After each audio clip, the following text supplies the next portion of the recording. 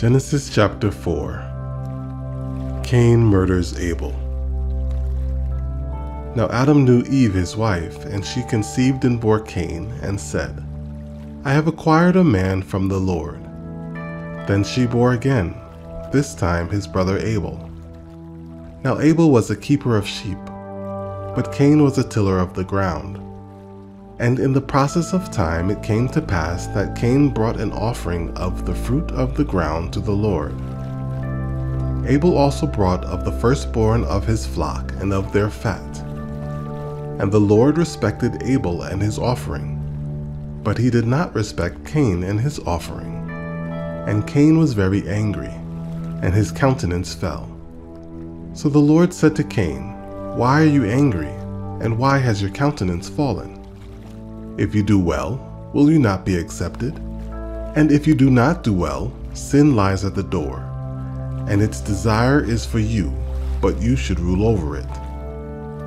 Now Cain talked with Abel his brother, and it came to pass, when they were in the field, that Cain rose up against Abel his brother and killed him. Then the Lord said to Cain, Where is Abel your brother?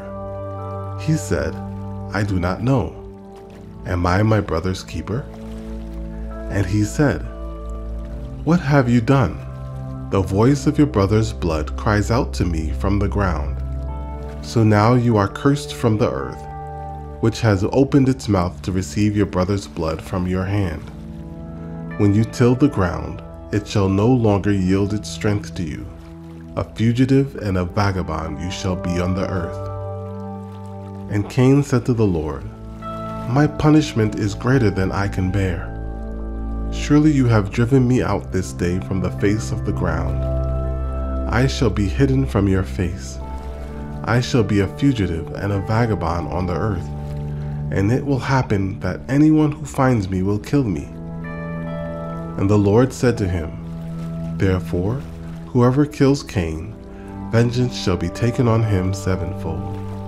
And the Lord set a mark on Cain lest anyone finding him should kill him. The family of Cain.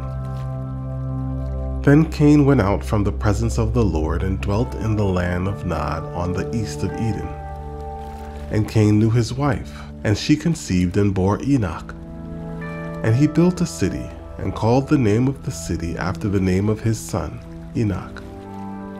To Enoch was born Irad, and Irad begot Mehujael, and Mehujael begot Methushael, and Methushael begot Lamech.